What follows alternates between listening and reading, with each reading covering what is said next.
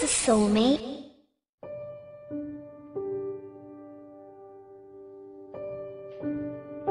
It's, uh, well, it's like a best friend, but more. It's the one person in the world who knows you better than anyone else.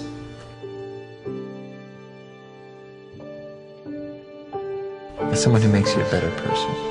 Actually, they don't make you a better person, you do that yourself, because they inspire you. A soulmate is someone who you carry with you forever.